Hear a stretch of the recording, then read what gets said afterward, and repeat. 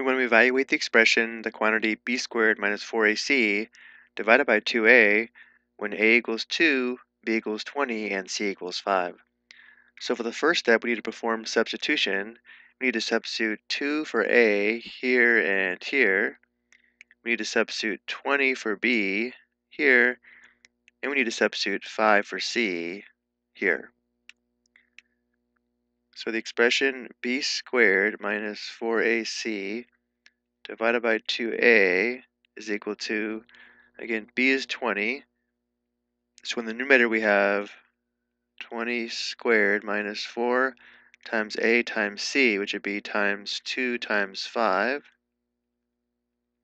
divided by 2 times a, which is 2 times 2. Whenever we have an expression that's a fraction, or a rational expression, we simplify the numerator and denominator separately, then simplify the fraction or perform the division. So looking at the numerator, the first step is to simplify the exponents.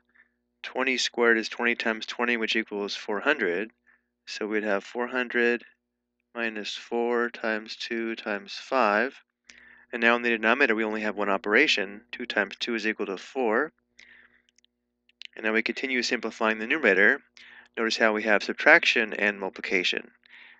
And we always multiply and divide from left to right before we add and subtract from left to right. So the next step is to find this product here. 4 times 2 is 8. 8 times 5 is 40.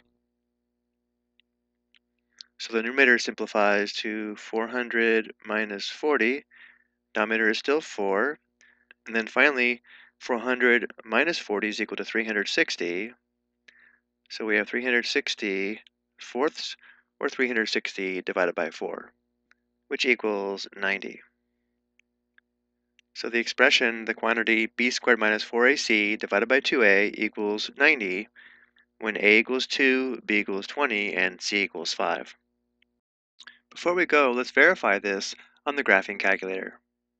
So we'll enter the original expression here after the substitution, though we do need a set of parentheses around the numerator and denominator. So we'll have open parenthesis, and then we have 20 squared minus 4 times 2 times 5, another close parenthesis for the numerator, divided by open parenthesis for the denominator, and then we have 2 times 2, another close parenthesis to end the denominator, and enter. Notice how this does verify our work is correct. I hope you found this helpful.